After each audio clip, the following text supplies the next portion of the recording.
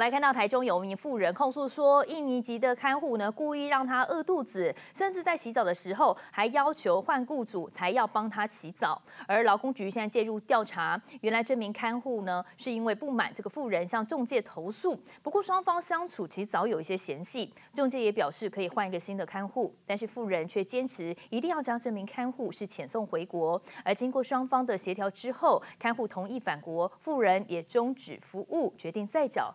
新的照服员。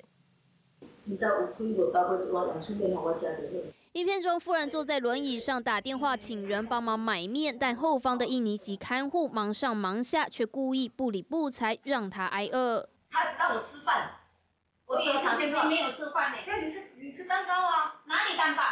我没讲喂。夫人挨饿，气得跟劳工局和社会局人员控诉，因为不止如此，洗澡洗到一半，居然还被要求换雇主。我这样在厕所呢，我说我很冷很冷，拜托你快点给我洗澡。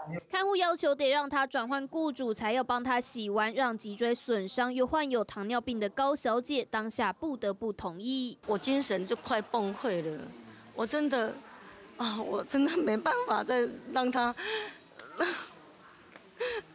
他对我真的很坏，很坏。他跟那个别人的那个不是我的中介哦，不是自己我的中介，还是不是他的中介，别人的中介哦。他全部都跟他们讲，这样。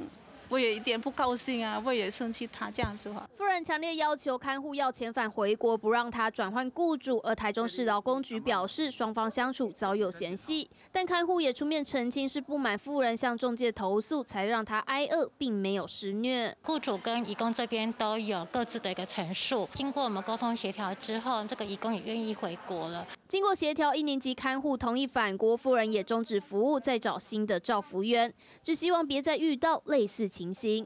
记者张一智、林佳颖台中采访报道。